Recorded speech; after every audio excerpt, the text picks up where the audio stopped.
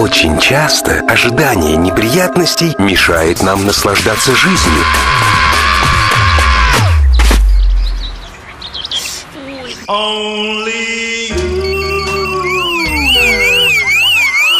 Не трать время, силы и нервы на беспокойство о будущем. Страхование – доступный и эффективный способ защиты от неприятностей. Есть страховка, нет тревог. Страховая компания «Намат Иншуранс» на защите ваших интересов.